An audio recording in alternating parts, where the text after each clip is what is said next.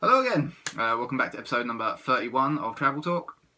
Today's episode is our second full day in LA, and I would be going on a tour of the Hollywood homes, which would take me through, uh, well, take me down uh, Rodeo Drive in the Hollywood Hills, uh, Bel Air, which is where all the rich and famous people live, of course.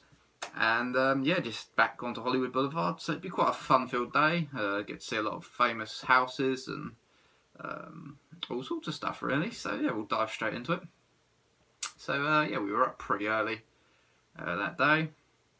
The little tour bus thing wasn't actually leaving until 11, but you know, we want to get up, get showered, have some breakfast, get ourselves ready, you know.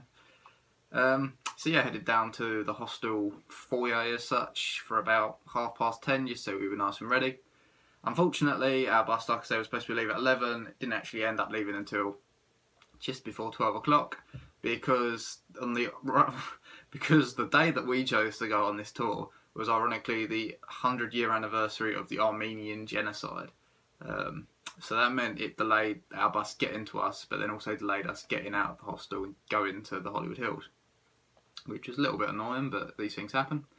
Um, with, with LA, obviously, there's um, little versions of every country, basically. So, Little Armenia, which was one of the places we were driving through, was pretty much rammed. So, it, these things happen, you know, you just brush it off and get on with the rest of your day. But yeah, our tour actually left about 12 o'clock in the end, and our first like, stop would be in the Hollywood Hills.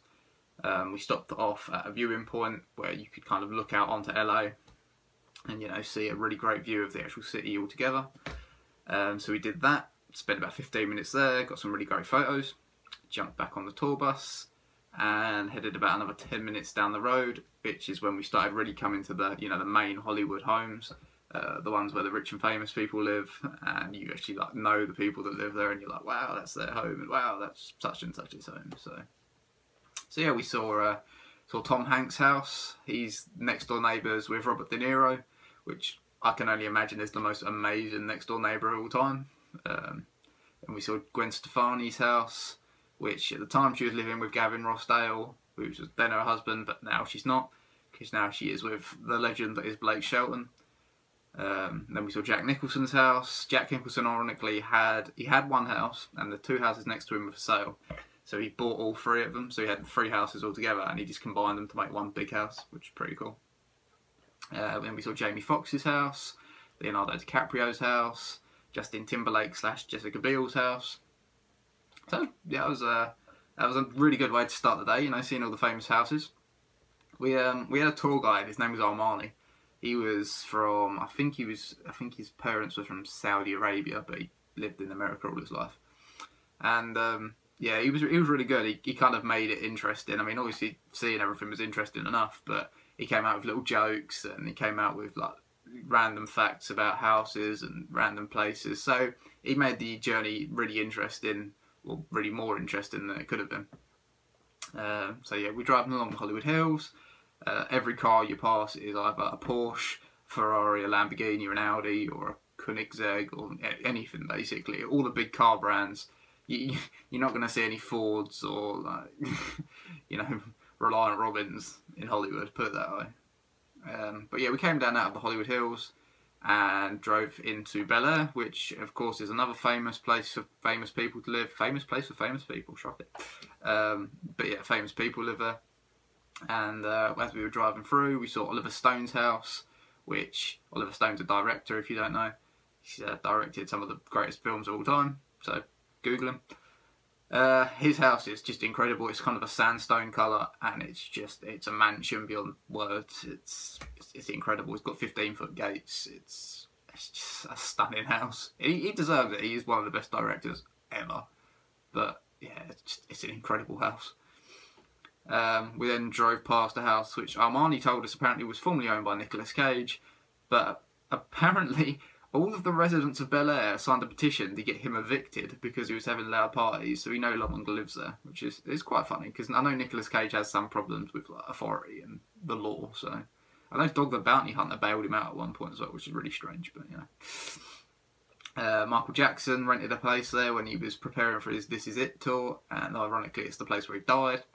So that was kind of a bittersweet place to see. Um, but the one place you want to see when you go to Bel Air is, of course, the house that was used in The Fresh Prince of Bel Air. Now, I know he was born and raised in West Philadelphia, but he uh, he moved to Bel Air, and his aunt and uncle lived there, and you know it's uh, it's it's incredible to see it. It's exactly how it looked on the television program. You just you look at it, all you can think of is Will Smith and Alfonso Ribeiro doing the Tom Jones dance, and uh, it's incredible.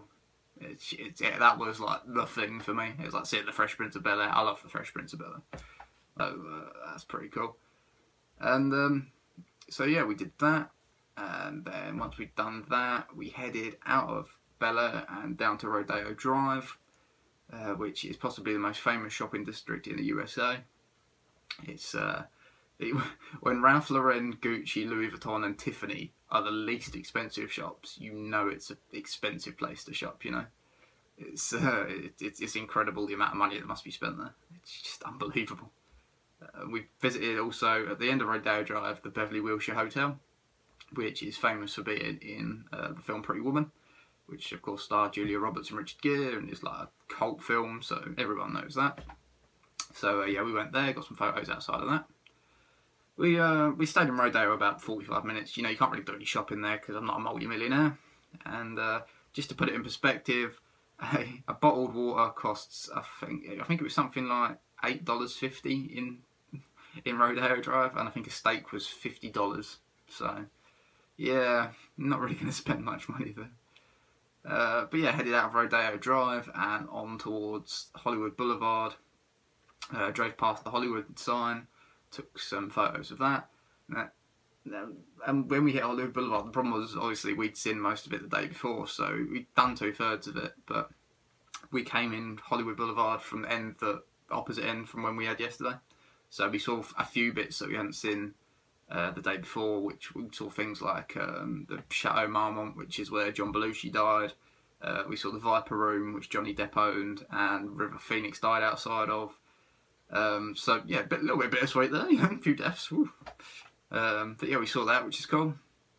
Uh, Armani dropped us off outside the Chinese Theatre and gave us 45 minutes to walk around.